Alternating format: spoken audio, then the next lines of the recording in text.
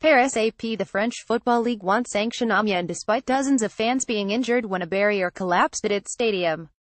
The League Disciplinary Commission released a statement saying it was closing the case after judging there was no proof of wrongdoing by either Amiens or northern rival Lille. In September, the Amiens-Lille match was stopped after the opening goal in the 15th minute. Fode Ballo-Touré had just scored for Lille when he ran over to a section of visiting fans behind the goal to celebrate. As fans surged forward, the fence collapsed. Fans tumbled onto the field and the match was immediately stopped. Article continues below. The hospital in Amiens said 29 people were injured.